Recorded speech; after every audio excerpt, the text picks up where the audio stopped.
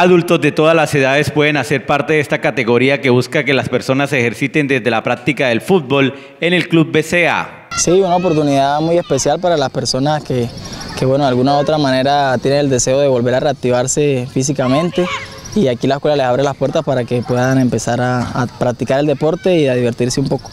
El Club Deportivo BCA con esta iniciativa reafirma su compromiso con el deporte en la ciudad, abriendo espacios para personas de todas las edades. Sí, la intención es que mediante el fútbol puedan tener la oportunidad de, de tener actividades físicas, así mejorar el mejoramiento de la salud, el aporte eh, todos los aportes positivos que esto tiene para, para, la vida de cada uno de nosotros, ¿no? Así que es una, es una puerta bien especial que, que hoy se le abre a cada una de esas personas. Lunes, miércoles y viernes son los días en los que se desarrollan estas prácticas deportivas en la cancha de fútbol del barrio Primero de Mayo.